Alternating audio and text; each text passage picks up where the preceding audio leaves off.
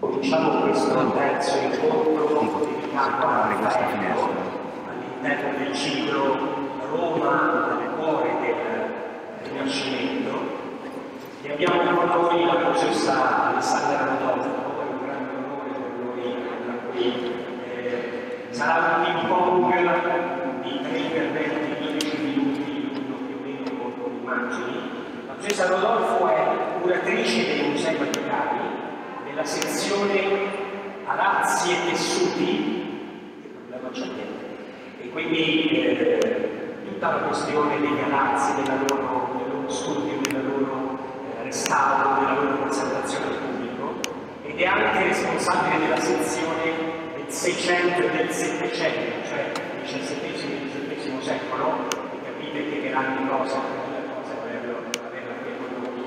Ha curato tantissime mostre con i cataloghi e le pubblicazioni annesse, per esempio la mostra che molti di voi avranno visto di alcuni anni fa, a Venus Papam, sulla storia delle lezioni pontificie presso il museo che era a San Giovanni di Laterano. Poi ha curato il volume di Michelangelo e Caravaggio che fanno cose meravigliose, mettendo anche alcuni i lavori che erano stati fatti nel nostro ufficio. E poi, fra le ultime eh, sue pubblicazioni, ha curato con la professoressa Caterina Volpi eh, della Statale di Roma, della cattedra di storia di arte moderna, vestire i palazzi, stoffe, tessuti e parati negli arredi dell'arte del barocco. E mm, siamo quindi contentissimi di poter stare con lei e le domando, per cominciare, eh, l'antico sempre esistito ma con il Rinascimento sia una vera e propria riscoperta dell'antico, una passione, un studio, un amore. Raffaello è un testimone di questa passione per l'antico, ci aiuta a comprendere dal suo punto di vista questo, questo grande amore di Raffaello.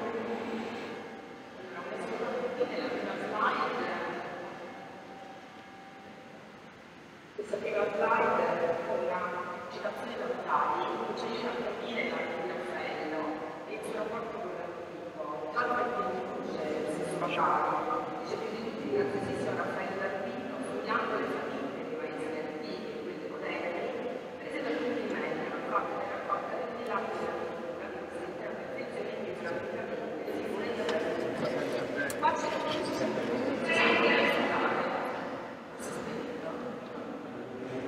Ok, qua c'è praticamente la sintesi dell'arte di Raffaello, cioè tutto quello che eh, è nelle sue opere gli antichi, quindi il recupero dell'antico, i moderni, eh, diciamo che è un artista che riesce a sintetizzare le i suggerimenti che vengono un po' comunque, che vengono dalla sua infinita curiosità e tutto trascolora, tutto trasferisce in una sintesi completamente nuova e originale che molto spesso eh, c'era nei fonti. E quindi anche il rapporto con il mondo antico, specialmente nel primo periodo della, della Raffaellesca, è piuttosto evanescente, Raffaello nasce a Urbino, come sappiamo, Urbino invece è una città che aveva delle vestigia particolarmente. C'erano solo delle pezzi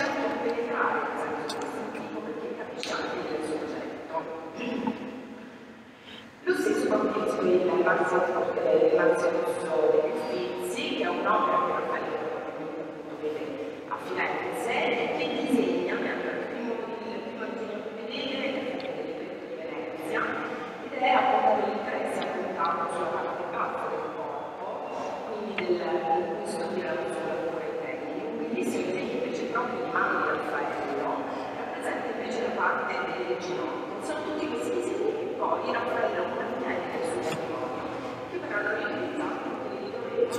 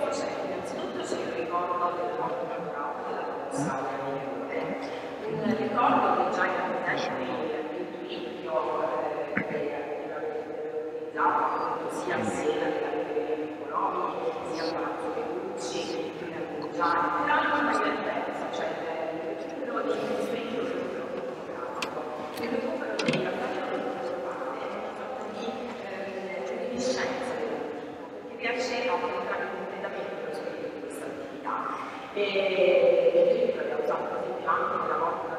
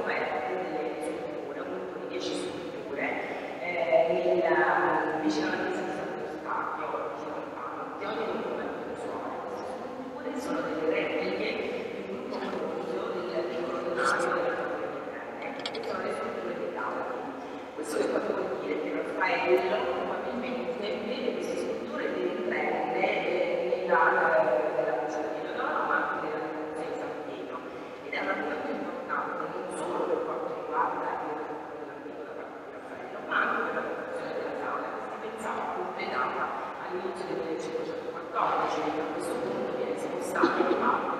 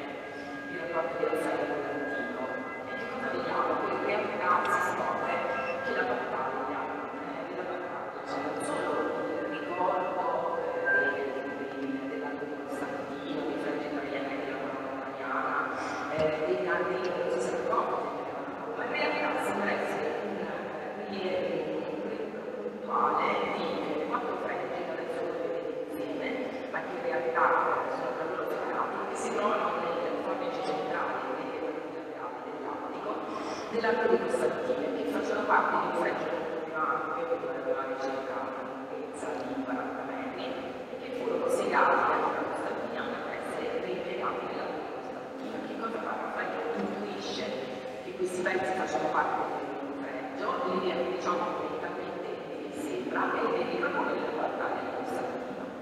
poi ovviamente le esercizi pratiche di aprire sulla destra, dare l'opzione della battaglia del così come in alto degli angeli, quindi anche la fonte antica che è comunque eh, rimaneggiata, rivista e modificata, quindi è necessaria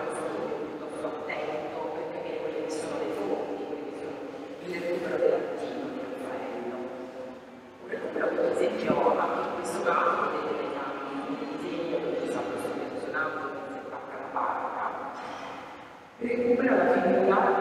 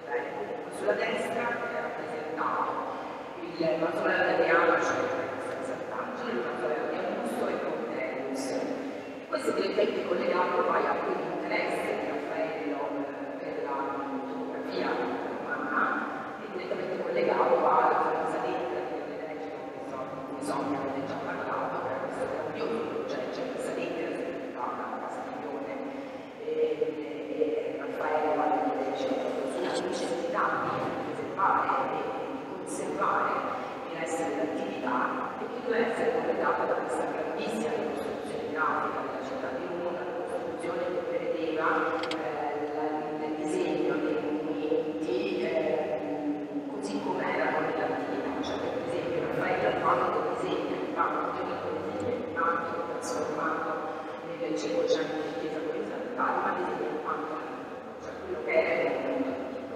E quindi anche qui in questo caso abbiamo messo in un'agricoltura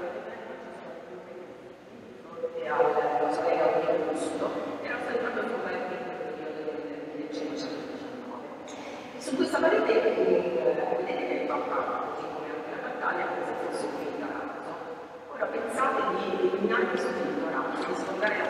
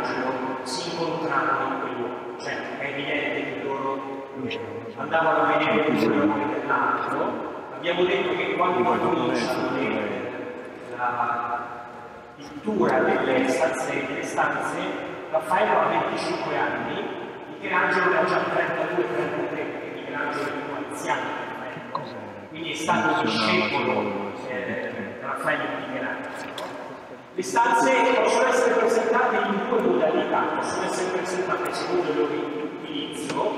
La prima stanza che stava di Costantino era la stanza dell'accoglienza degli ospiti, poi nella stanza di Odoro, con le immagini che dipingono la protezione della chiesa, avveniva il colloquio specifico con le persone che venivano a trovare Giulio II e poi Leone X.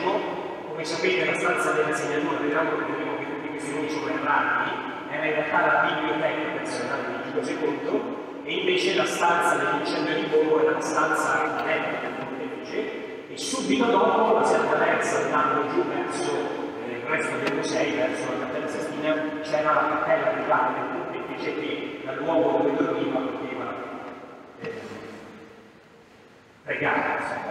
E possiamo però presentarle, e noi ci soffermeremo solo su una, deve essere rapido e poi è importante ascoltare la professoressa, e possiamo presentarlo secondo l'ordine invece della, della dipintura, come sapete c'è prima la stanza della segnatura, poi la stanza di Leodoro, poi la stanza del centro di Borgo, poi infine il salone di.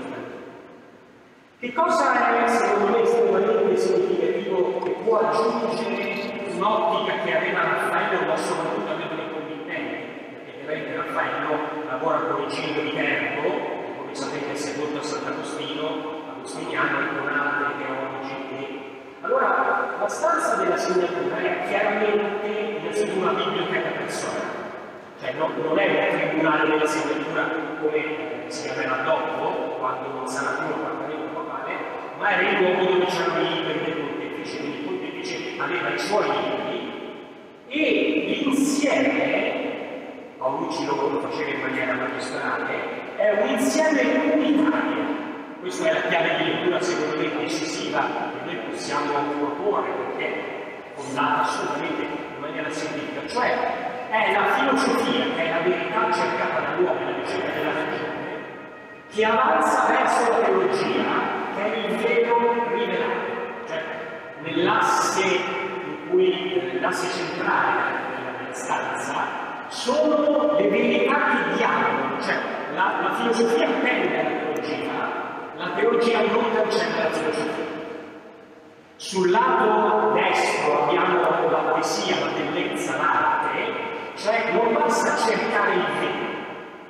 Il vero, se è vero, è anche bello, poetico, rende la vita di una qualità emotiva, appassionante, di bellezza. Poi tornerò su questo. Sulla sinistra invece abbiamo il diritto, la giustizia, la volontà, cioè sono i tre trascendentali, vero, bello e buono, che vengono disposti nell'intero uomo mostrando l'armonia, cioè non esiste una bellezza che non sia vera.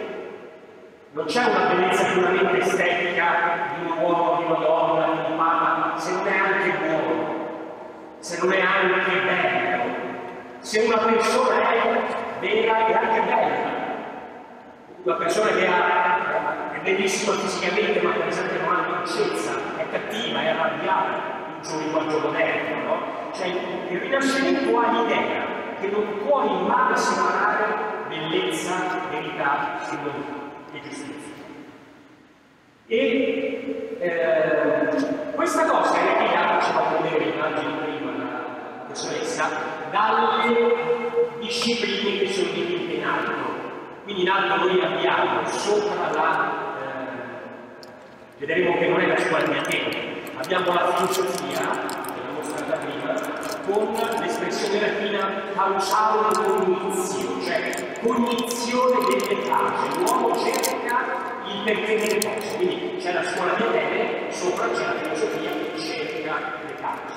Sopra la teologia c'è l'espressione divinarum rerum notizia, conoscenza delle cose divine, cioè l'uomo può conoscere addirittura le cose dell'infinito, la storia della salvezza, il fatto che Dio abbia creato il mondo, perché c'è la scienza della liberazione. La giustizia porta sopra di sé ius sum unique equilibrium, cioè si attribuisce a ciascuno quello che è il proprio. La giustizia è il compito di dare a ciascuno e la poesia ha l'espressione bellissima numine afflato, cioè ispirato da un nome, ispirato da, Dio, dal divino, dall'alto, eccetera. Potremmo dire che è l'ideale della calocrazia greca, cioè il kalos e l'agatos, riportato in una visione cristiana, cioè non c'è mai bellezza senza agazia senza volontà e non c'è mai volontà senza verità. Queste tre cose sono conosciute. La scuola di Atene, in questo senso, non è la scuola di Atene, ma è l'insieme di tutti i filosofi di tutti i tempi. Per esempio abbiamo anche una persona come il turbante che rappresenta il pensiero arabo, cioè non è Atene, chiaramente al centro ci sono Aristotele e Platone, ma non è dire siamo ad Atene, qualsiasi pensiero che l'uomo abbia compiuto viene accolto. Chiaramente sono centrali i due personaggi, ma la cosa fondamentale è che uno punta verso l'altro, voi sapete che Platone è il Tineo, che è l'opera platonica che parla delle idee, della presenza di Dio che viene ispirare il creato, invece Aristotele ha l'etica, ha scritto chiaramente cose lo vedete benissimo, e oramai di terra, cioè quella, la filosofia parla del cielo e della terra e tutti quanti sono come in un unico dialogo, come a dire la mentalità di mente rinascimentale, bisogna conoscere i pensieri classici della filosofia, eccetera.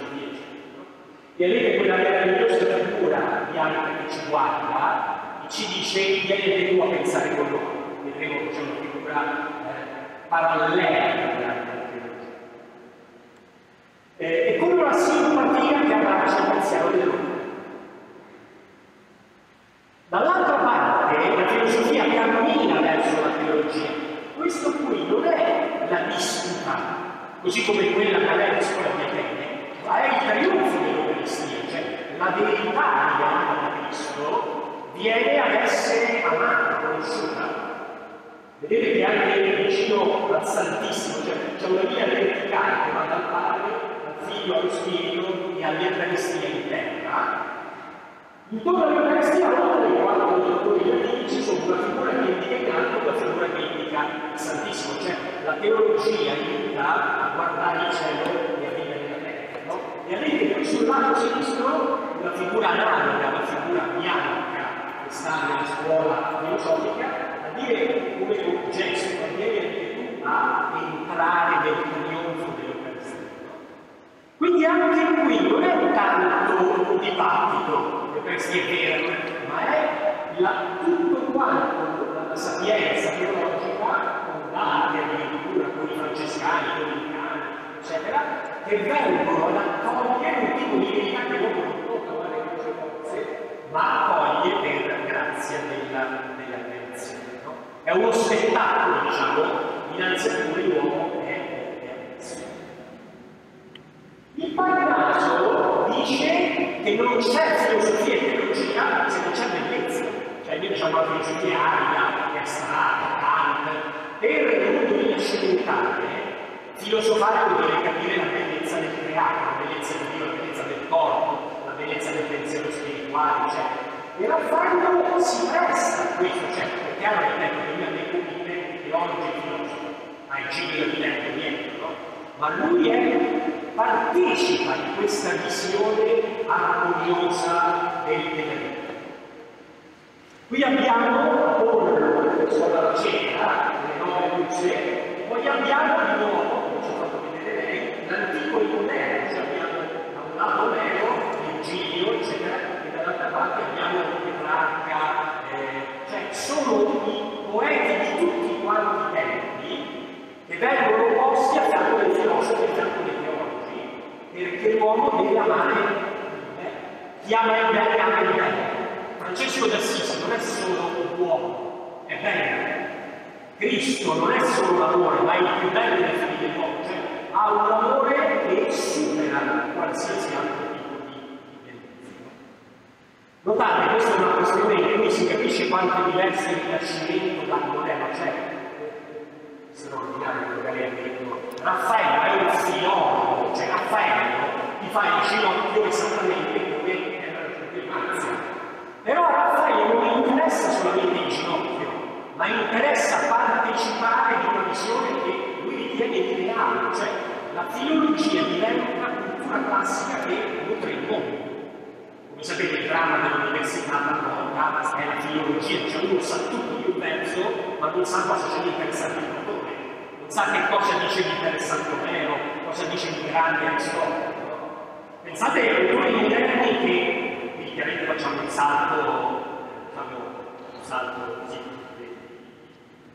esagerato, no? Se voi prendete uno che recalcato come Zoya, no? Loro dicono Omero, l'Odissea, non parla solamente al filologo, ma c'è questo ragazzo, Telemaco, che il padre lontano, la guerra di Troia è finita, non è tornato, e lui capisce che se il padre non torna, eh, i, i proci disturbono la, la mamma e, e la, tutto quanto il bene della famiglia, lui prende la barca ed esce a cercare il padre. Una lettura greca di. Cioè, l'Odissea non viene letta come un testo da intellettuale, ma viene letto come un testo quando Omero è cieco, sta lì in alto, e Omero che vede la grandezza. L'Iliade è l'immagine del, del valore di guerra, cioè la guerra si deve fermare e bisogna seppellire il figlio del re nemico sapere opposizione all'ISIS, no? quando tu gli tagli la testa lo metti e vieni giù, come è successo a Palmira, no? Cioè, l'Iliade dice che la guerra c'è, ma si deve fare con nobiltà. Addirittura si ascolta il grido del re nemico che, che chiede per favore fateci seppellire il figlio che è stato ucciso e gli attesti. Allora, questi non sono solo filologia, ma sono Dall'altra parte abbiamo, come conoscete bene, la consegna del, a Giustiniano della raccolta delle leggi civili e la consegna a Gregorio IX della raccolta delle leggi del diritto canonico. Quindi sono il diritto canonico che vale per la Chiesa, per i preti, eccetera, il diritto civile che viene codificato, cioè non basta che ci sia bellezza, ci deve essere giustizia. E in alto, come sapete, mancano gli altri tre virtù cardinali, cioè della rovere, cioè l'immagine della rovere, cioè la forza, c'è l'immagine della prudenza, c'è l'immagine della temperanza con le corde, con gli amorini che rappresentano invece la fede, la speranza e la carità. Cioè, sono gli trovate qua tutte quante in testa. Per capire questa cosa che mi fermo, possiamo vedere la cosa opposta, cioè per capire la, la, la novità e il problema del, rinascimento di Raffaello. È vero che quella di Raffaello è troppo positivo, troppo in Raffaello non c'è il peccato, la morte, il fallimento.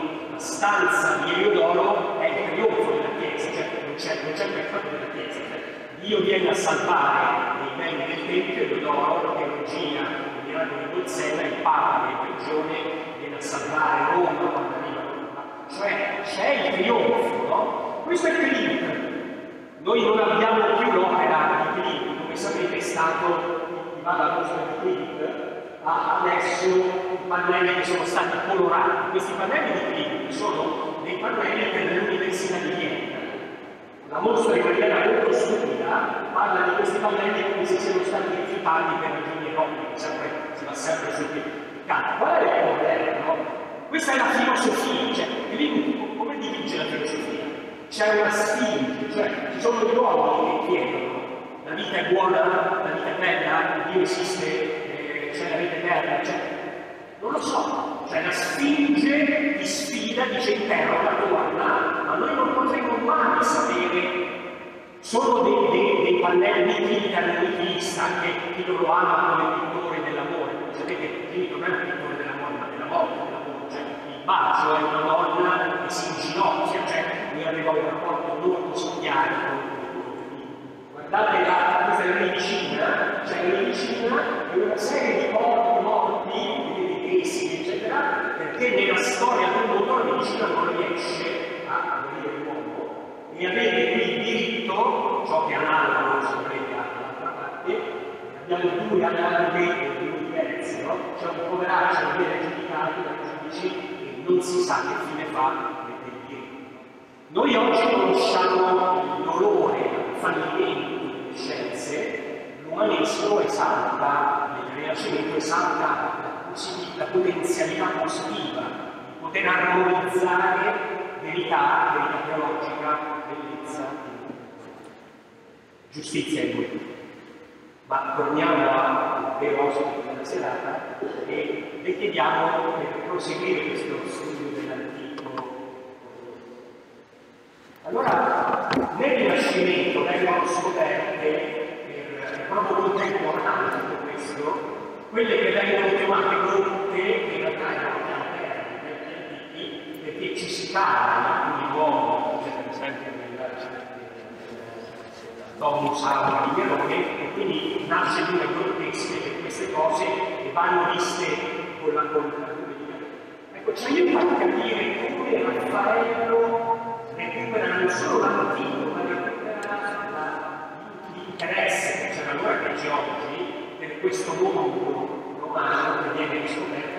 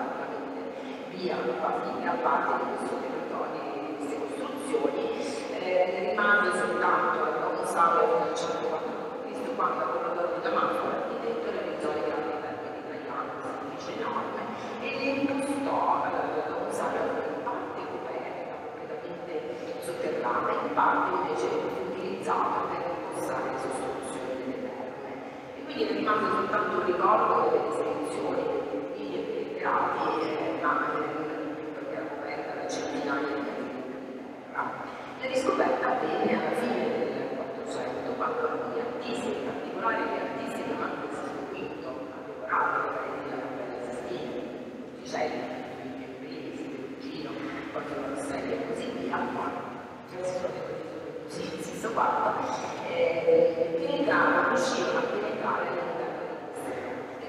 Ora, in realtà il momento, che si è sempre detto, che la sua aperta alla fine degli anni 90,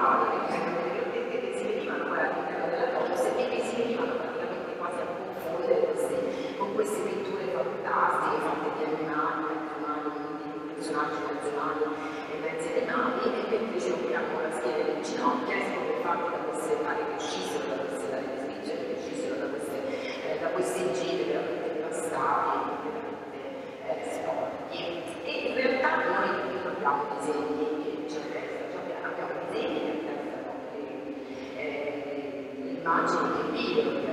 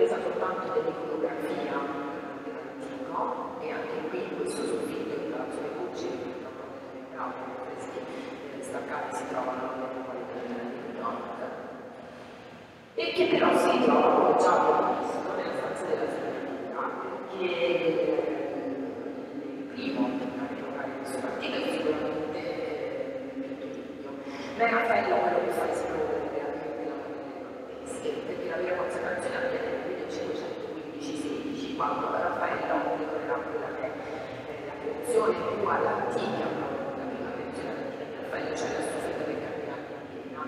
Diciamo che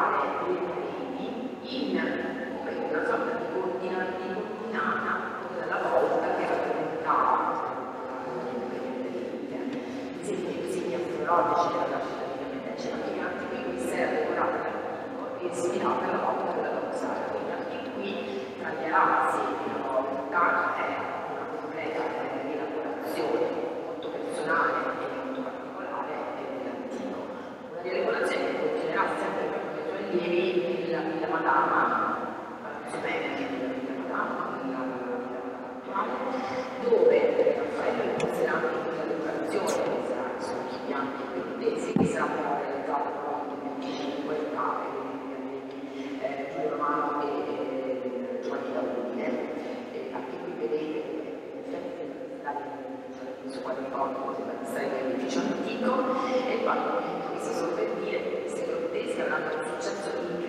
si propagheranno non solo in Italia, dove avremo costituzioni come ad esempio cioè, le 100 stanze del Fizzi decorate dalla Via Tempesta eh, eh, per Francesco Di Medici, proprio durante le rivoluzioni ottantesche, ma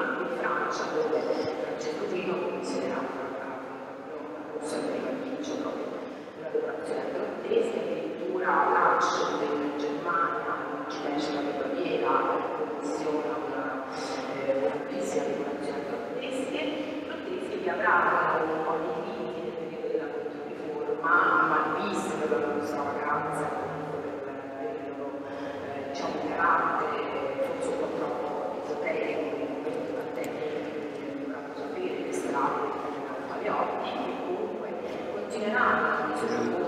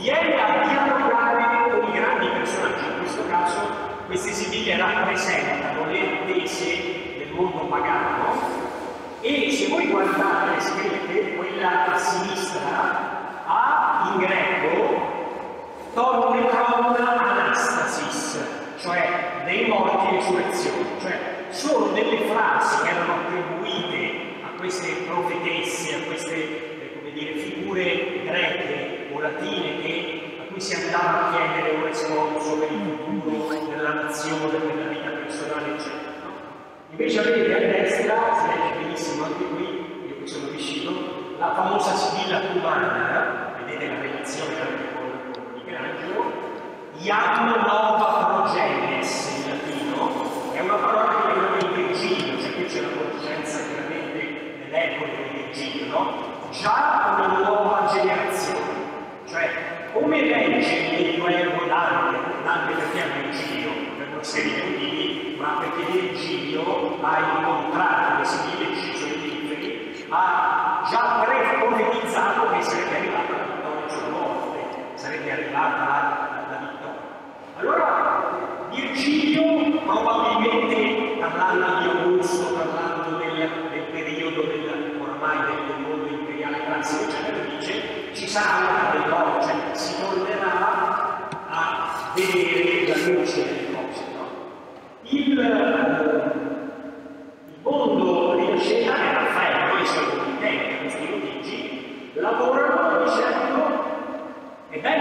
sia in cappella anche queste figure e Michelangelo fa la stessa cosa alternando discepoli. Eh, notate che ho avuto la fortuna di salire, eh, c'erano anche un servizio proprio quest'anno, sono andato a fare delle, delle cose di 2000 su immagini, salire sui compiti, hanno scoperto per esempio sul lato sinistro c'erano delle, delle, delle d'oro, delle, delle lamine d'oro, quindi si capisce meglio anche la ricchezza di questo cantiere che voleva mobilitare la sua e voglio accennare una cosa sola per lasciare poi il Pong a una questione che secondo me mi aiuta a comprendere il grande dibattito ideologico, storico-artistico, eccetera. Cosa fa Porcellino? Fa restare qui come già vi ho detto, la lettura del museo di Porcellino è assolutamente fuorviante. Addirittura l'impianto di illuminazione era stato creato perché ci fosse il giorno e la notte perché eh, museo guardava la finestra, che è una cosa assolutamente non, non è altro. Dinanzi a Raffaello, se voi prendete le parole di Forcellino, il suo volume su Raffaello, vi fa capire la natura ideologica e almeno abbiamo il problema, poi ognuno è libero di pensare a quello. Dice Forcellino, è soprattutto un approccio laico alla storia del Rinascimento, alla storia dell'arte, che riserva le maggiori sorprese. Un approccio che non presuppone più in Raffaello, come condizione necessaria della creatività e delle perfezioni, la motivazione spirituale o filosofica, ma si limita a registrare la forza potentissima di un eros felice e di una vita pienamente appagata. Cioè Concellino dice Raffaello non c'entra niente con la cultura rinascimentale, è l'eros e l'appagamento. La frase dopo è ancora più significativa. In questo modo, proprio l'artista che sembrava inutilizzabile per la modernità, cioè Forcellino dice qual è il problema di Raffaello? Raffaello non piace moderni perché? Perché privo di tormento di quei diventa invece, dice sempre Forcellino, l'espressione più forte e trasgressiva modernità. Cioè, Raffaello è trasgressivo. Allora, questa è una questione molto interessante, cioè a noi moderni Raffaello non convince agli intellettuali, perché? Perché rappresenta la bellezza, la pace, l'armonia, la, la totalità, il senso, eccetera. Invece Raffaello è straordinario esattamente per questo. Se voi guardate il famosissimo, cioè la, la, la gente semplice, il turista semplice, Raffaello piace perché sul letto della camera, cioè in camera da letto loro vedono gli angeli di Raffaello che sono chiaramente gli angeli della Madonna Sistina che adesso è a destra, no? Cioè la, la persona, il popolo vede, secondo me ha ragione il popolo che intellettuale, cioè vede che questa Madonna non ci guarda, che avanza con il bambino, angeli sono sotto, eccetera, cioè porta qualcosa, un messaggio di bellezza dentro, di serenità, no? E Raffaello è questo, e questo è difficile oggi amarlo e capirlo, no? Raffaello non c'è male che c'è Michelangelo, cioè Michelangelo c'è la tensione del peccato, del, del, del male, in Raffaello c'è la, la serenità delle cose. Questa è la grande questione, la, la bellezza che c'è nella vita nel mondo e come noi la leggiamo come una cosa interessante o non interessante. Ma passiamo subito alla terza domanda di Cesare Rodolfo. Lei è una curatrice della sezione Arazzi e Tessuti dei musei, nelle collezioni ci sono più di opere che erano utilizzate, non erano la collezione, cioè oggi diciamo la collezione, non gli arazzi erano Chiarazzi per assistere Giuseppe quando alcuni tempi chirurgici, eh, la, scuola, la scuola vecchia, la scuola nuova, eccetera, eccetera. E neanche con l'altro certamente a disposizione, come sapete molti di voi sono andati a vedere, si è cercato di collocarlo eh, eh, con discussioni rispetto alla volta precedente. Cosa sono? Di cosa quando Che valore artistico hanno Chiarazzi? Cosa ci dice della sua, della sua amore?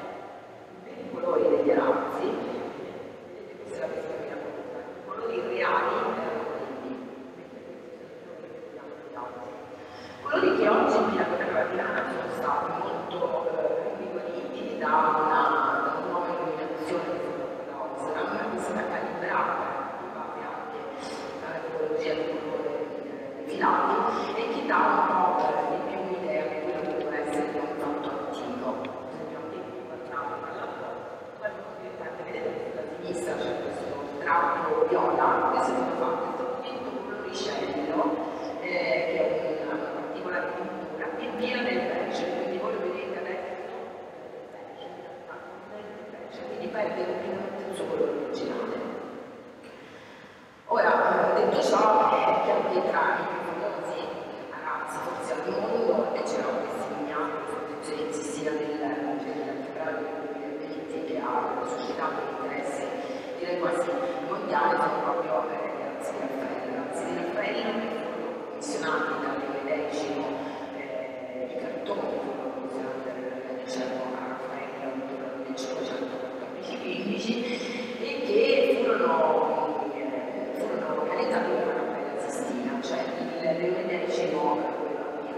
cerimonia di sede certificata con l'uomo massimo, per esempio, della Sera della Sera.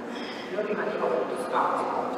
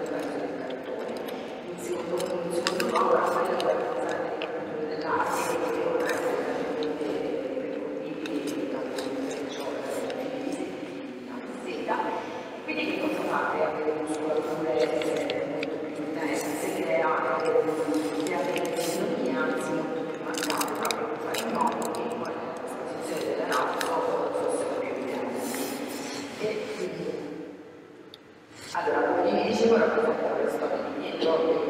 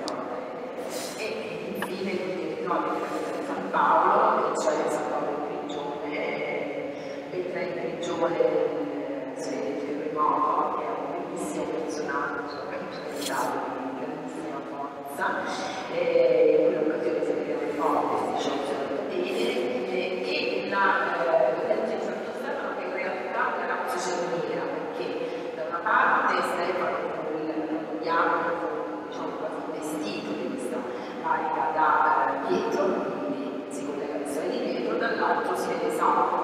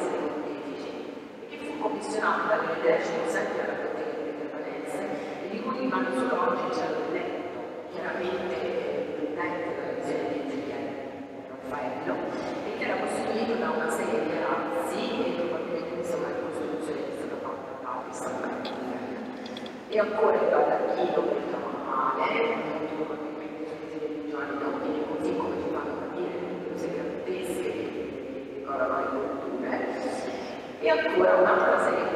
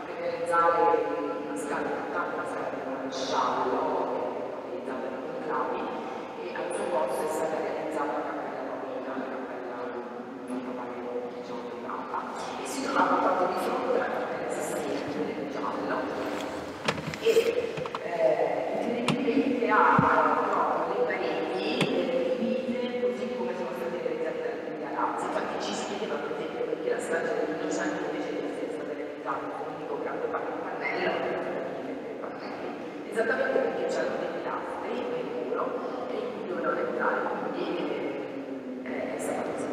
E al centro di questa cappella è interessante che c'era la zucchino del templare, cioè del Seicento della in Sistina, visto che sui giorni che 13 sono in questa cappella, che era decorata con degli affreschi Di sampah.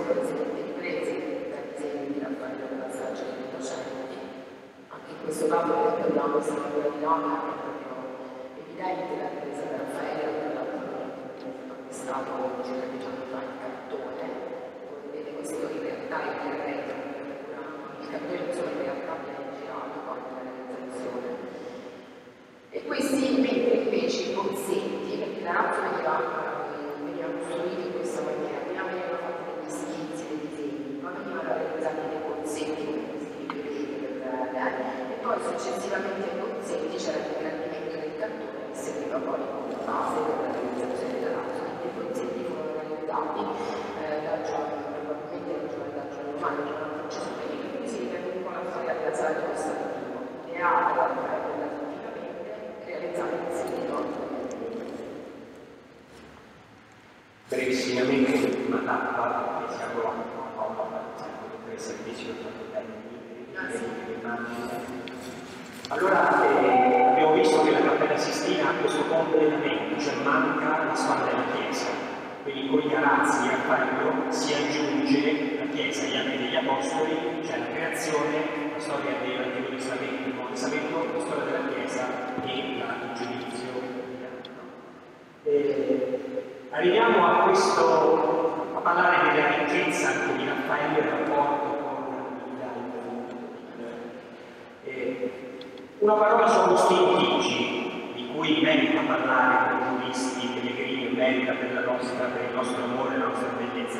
Voi sapete che il legame tra queste due figure probabilmente preservate appunto da San Marino, che è stato poi uno dei fondatori. Sotto Giulio II si fonda l'Universitas degli Argentieri, degli Argentieri, no? Allora sono così legati e nel mistero sono legati anche fino alla morte, cioè moriranno a quattro giorni di distanza. Raffaello morirà con uno shock terribile, ci sono tutti i racconti delle, delle persone dell'epoca. Eh, Baldassare Castiglione dice non vi è più il mio poverino Raffaello. Eh, Leone Vescovo parla di misurato dolore, cioè la morte di Raffaello a 37 anni improvvisamente fu uno shock simile anche a quello che noi vediamo oggi con il virus e il problema. A shock si aggiunse ciò, cioè Raffaello morì il venerdì santo, Agostino Chigi morì lunedì dopo Passo a distanza di quattro giorni. Sì, e poi si pensa anche all'ordinanza della Bibbia precedente. No? Sono diciamo, un, un mistero di, questo. Questo, chi era questo, questo, questo signore così, così importante? Un. Allora, come sapete, eh,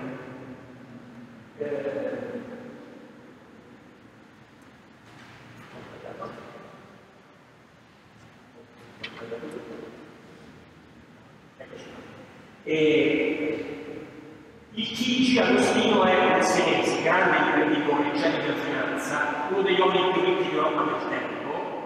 Eh, una sua banca aveva, aveva, la sua banca aveva l'appalto dell'allume di colfa, quindi tutto l'allume di colfa che serviva sempre per, per i tessuti, eccetera, era nelle sue mani.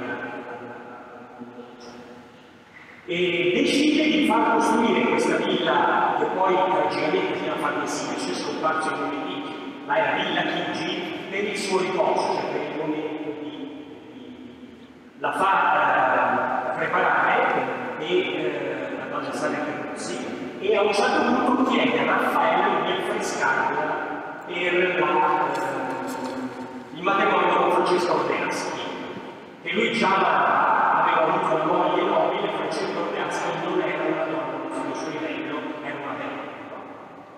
La cosa che credo sia veramente interessante di nuovo non è semplicemente visitare Villa Farnesina, Villa Chigi, dicendo la storia dei gossip, eccetera, ma l'affresco che viene realizzato anche qui sui disegni di Raffaello, con alcune figure chiaramente di Raffaello, ma poi con tutti stessi Giovanni Daudini e così via, no? È che è una storia delle metamorfosi che domanda come può diventare eterno. E sapete che poi Orleaschi tragicamente fu probabilmente uccisa quando morì il marito ricco, quindi tutta la famiglia del Chigi poi se la prese con questa poveretta ed è una domanda fondamentale se l'amore vince l'amore. No? Allora, come sapete, la storia comincia da quel lato sinistro dove si vede Venere che è geloso della bellezza di Psiche, Psiche umana, amore divino. È la storia, è la domanda se l'amore terreno può diventare divino. No? Allora incarica suo, suo figlio, amore, di colpire eh, Psiche facendole innamorare di un uomo brutto, cioè deve guardare la sua freccia su un brutto perché la figlia finisca non con la bellezza ma con l'orrore. Eh, amore lancia la freccia, se si colpisce il suo stesso piede e quindi è lui che si innamora di Psiche, cioè di Dio che si innamora della terra. E allora man mano che seguire la storia, vedete poi l'amore che viene alle tre grazie di proteggere Psiche perché Venere vuole che Psiche venga distrutta perché lui la sposi e allora Venere sale a, prima va a parlare con le con le donne, poi va a parlare con Giove, nella terza, nella quarta, era, vedete con Giove che gli dice dobbiamo fermarci sul terremoto e nel piano Mercurio chiede che Psiche superi una prova.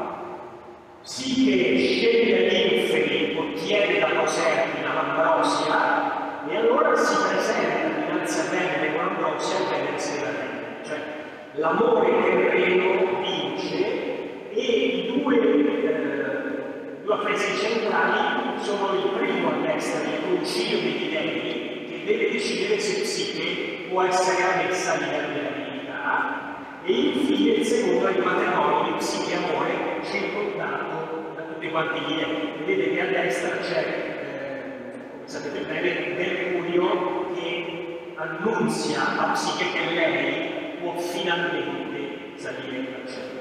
È la grande domanda che c'è di nuovo nella, non è solo una domanda erotica, non è solo la domanda se una donna di basso costume può salire nel, nel mondo dei potenti, no? Ma è una domanda vera, cioè io devo imparare a leggere la mitologia e la storia del tempo con quel gusto vero che noi abbiamo, ma l'amore vincerà il peccato, la morte, quando muore un coniuge, quando muore un figlio, quando muore una persona amata, ma può l'amore vincere la morte? Al di là della risposta, cioè la risposta poi la lasciamo al terrorista, al pellegrino, all'ago, al credente, no? Ma la cosa interessante è che fra grandi, fra potenti, Raffaello, eccetera, si domandavano, ma veramente l'amore di due persone può vincere il male, può vincere la morte, può, può ha un destino eterno?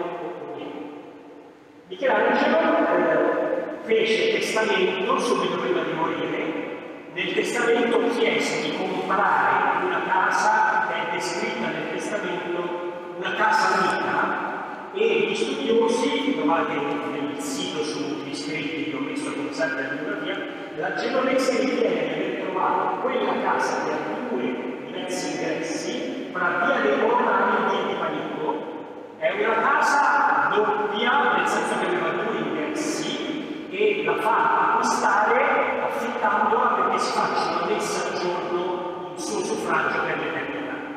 Noi sappiamo che nella parte di Coronari c'era il ritratto di Raffaello, che poi si è consumato nel tempo, e Raffaello chiese di essere sepolto al Pantheon, fu il primo intellettuale, da lì poi cominciò la serie pittori, perché anche quell'uomo voleva eh, ricordare il mistero del mondo classico, ma volle che Raffaellino Nuovo ci mettesse sopra la Madonna con i bambini. Cioè, è un misto di nuovo ciò che è l'attesa del mondo pagano, che è qui, e il desiderio che forse si può compiere nel mistero di Cristo. Grazie di questa sera e ringraziamo